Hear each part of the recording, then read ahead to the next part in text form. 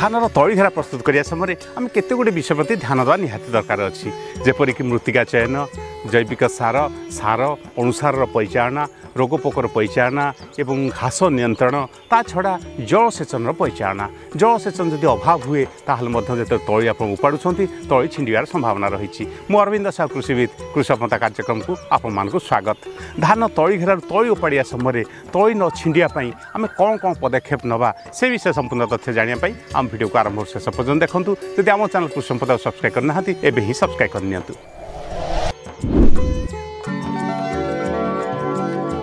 ତଳି ଉପାଡ଼ିବା ସମୟରେ ତଳି ନ ଛିଣ୍ଡିବା ପାଇଁ ଆପଣ କ'ଣ କ'ଣ ପଦକ୍ଷେପ ନେଉଛନ୍ତି କମେଣ୍ଟ ବକ୍ସରେ ଲେଖନ୍ତୁ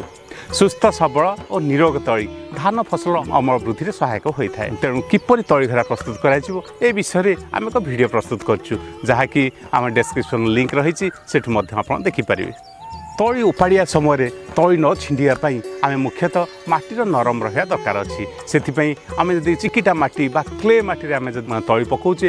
ସେଥିରେ ତଳି ଛିଣ୍ଡିବାର ବହୁତ ସମ୍ଭାବନା ରହିଛି ଚିକିଟା ମାଟିରେ ସାଧାରଣତଃ ଚେରକୁ ମାଟି ବହୁତ ଜୋରରେ ଜାବୁଡ଼ି ଧରିଥାଏ ଅର୍ଥାତ୍ ଚେରକୁ ଚାପିକି ଧରିଥାଏ ସେଥିପାଇଁ ତଳି ଉପାଡ଼ିବା ସମୟରେ ସେ ଛିଣ୍ଡିବାର ସମ୍ଭାବନା ବହୁତ ଅଧିକା ରହିଛି ଆମର ମାଟି ସାଧାରଣତଃ ତିନି ପ୍ରକାର ରହିଥାଏ ଯେପରିକି ବାଲିଆ ମାଟି ଦୋରସା ମାଟି ଏବଂ ଚିକିଟା ମାଟି ଆମେ ଯେକୌଣସି ମାଟିରେ ଆମେ ତଳି ପକାଉଛେ ଆମେ ଗୋବର ଖତ ସେଥିରେ ନିହାତି ବ୍ୟବହାର କରିବା ଦରକାର ଅଛି ଗୋବର ଖତ ଯାହାକି ମାଟିକୁ ଫସଫସ କରିଥାଏ ଏବଂ ପାଣି ଧରି ରଖିବାର କ୍ଷମତା ରହିଛି ତେଣୁ ମାଟିକୁ ଉର୍ବର କରିବା ସହିତ ମାଟିକୁ କୋମଳ କରିଥାଏ ଗୋବର ଖତ ସେଥିପାଇଁ ଆମେ ଦଶ ଡିସମିଲ୍ ଜାଗା ପାଇଁ দশ ডিসমিলে যদি তଳିଘେରା ପକାଉଛେ ସେଥିରେ ଆମେ ଚାଳିଶ ଝୁଡ଼ି ଗୋବର ଖତ ନିଶ୍ଚିତ ପ୍ରୟୋଗ କରିବା ଯଦି ଅଳ୍ପ ଜାଗାରେ ଆମେ ଧାନ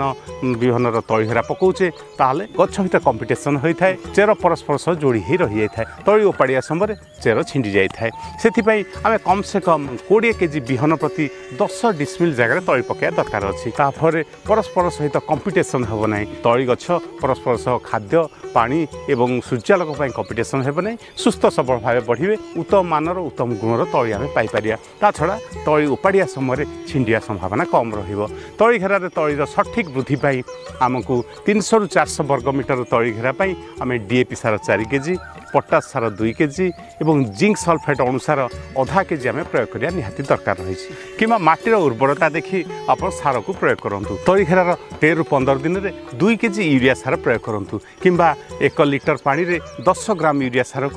অপরাহ্ন সময় স্প্রে করতু তাফলে ফলে গছর বৃদ্ধি যদি হয়ে নথিব সঠিক ভাবে বৃদ্ধি হয়ে পার তরিখেরার পনেরো দিন পর্যন্ত মাটিকে ওদা রাখতু পা জমিয়া দিও না দুইটি তরিখেরা মধ্যে গোটে ড্রেন বা না রাখতু যে অধিকা পাড় নিগেডি জিব তেন 15 দিন পরে পুনতড়ি খরাতে 15 দিন হে জিব তা পরে ତଳି ଘେରରେ ପାଣି ରଖନ୍ତୁ ଯାହାଫଳରେ କି ମାଟି ନରମ ରହିବ ଏବଂ ପରବର୍ତ୍ତୀ ସମୟରେ ଯେତେବେଳେ ଆମେ ତଳି ଉପାଡ଼ିବା ସେତେବେଳେ ଆଉ ତଳି ଛିଣ୍ଡିବ ନାହିଁ ଯଦି ଆପଣ ସାର ପ୍ରୟୋଗ କରିନାହାନ୍ତି ମୂଳ ସାର ଯଦି ଡିଏପି ସାରକୁ ପ୍ରୟୋଗ କରିନାହାନ୍ତି ତାହେଲେ ଆପଣ ଡିଏପି ସାରକୁ ଏକ ଡିସିଲ୍ ପ୍ରତି ଏକ କେଜି ହିସାବରେ ପ୍ରୟୋଗ କରନ୍ତୁ ଫଳରେ ମାଟି ହାଲକା ରହିବ ତା ଛଡ଼ା ଜିପ୍ସମ୍ ସାର ମାଟିକୁ ହାଲକା କରିବାରେ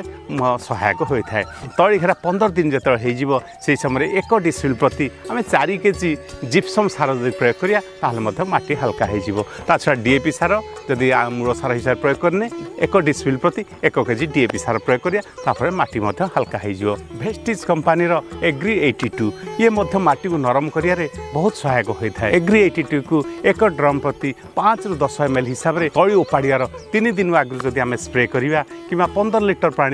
দশ এম এল মিশাই দশ ডিসপিল তলি ঘেরা তাকে প্রয়োগ করা সে মাটি নরম করে দিয়ে থাকে তাপরে আমি যদি তলি উপাড়া তলি সহজে ছিঁড়ি নথায় তেমন আম ଆମକୁ ଜୈବିକ ସାର ସାର ଅଣୁସାର ଏସବୁକୁ ସଠିକ୍ ଭାବେ ପରିଚାଳନା କରିପାରିଲେ ଆମେ ତଳି ଓପାଡ଼ିବା ସମୟରେ ତଳି ସହଜରେ ଛିଣ୍ଡିବ ନାହିଁ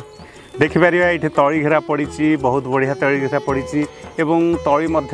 ପାଖାପାଖି ଦଶ ଦିନର ତଳି ହୋଇଗଲାଣି କିନ୍ତୁ ଏ ଟିକେ ବହୁତ ବହଳ ରହିଯାଇଛି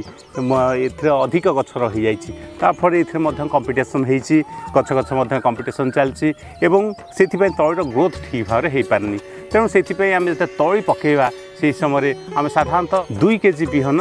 ଗୋଟେ ଡିସ୍ପ୍ଲିନ୍ ଜାଗାରେ ଆମେ ତଳି ପକାଇବା ତେଣୁ ଏଇଠି ଏଇଠି ତଳି ମଧ୍ୟ ବହୁତ ଗହଳି ହୋଇଯାଇଛି ତେଣୁ ଏ ଉପାଡ଼ିଆ ସମୟରେ ମଧ୍ୟ ସମସ୍ୟା ହୋଇପାରେ ଉଠୁଛି ଠିକ୍ ଭାବରେ କିନ୍ତୁ ଅଧିକ ଗହଳି ହେବା ଫଳରେ ତଳି ଛିଣ୍ଡିବାର ମଧ୍ୟ ସମ୍ଭାବନା ରହିଛି ଆପଣ ସମସ୍ୟା ସମାଧାନ କରିବା ଦାୟିତ୍ୱ ଆମର ଆପଣ ଆମ ଚ୍ୟାନେଲକୁ ଲାଇକ୍ ସେୟାର ସବସ୍କ୍ରାଇବ୍ କରନ୍ତୁ ଧନ୍ୟବାଦ ଜେ କିଷାନ